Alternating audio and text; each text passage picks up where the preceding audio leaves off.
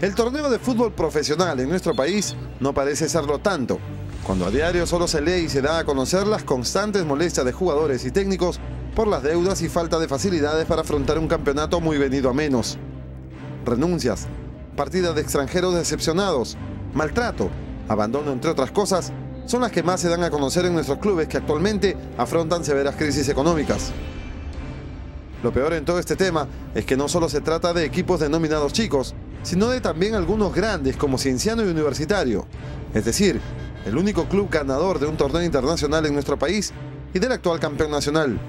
A pesar de que la situación para el futbolista ha mejorado muchísimo, todavía hay algunos clubes, en el caso de Cienciano por ejemplo, que todavía no se terminan de, formalizar y tienen estos problemas como lo, que ha tenido hoy día, por ejemplo, que, se, le ha, sancionado con, con la no participación en el próximo partido. ¿no?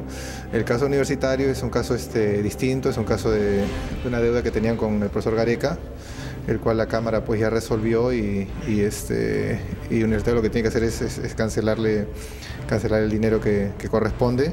De lo contrario, pues en, el transcurso de los días podría estar este, siendo sancionado con la pérdida de los puntos.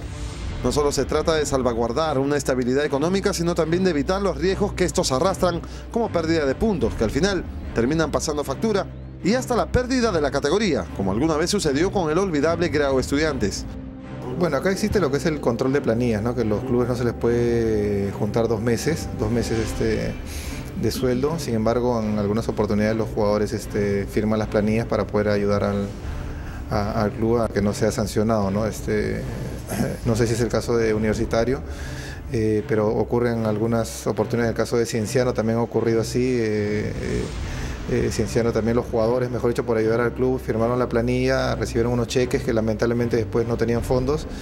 Y este, pues lo que ocurre en algunas oportunidades, ¿no?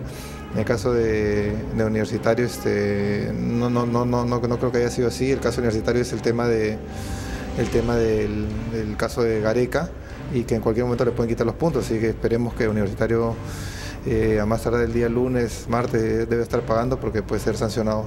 Recordemos que alguna vez una huelga de futbolistas terminó por finalizar un torneo antes de tiempo.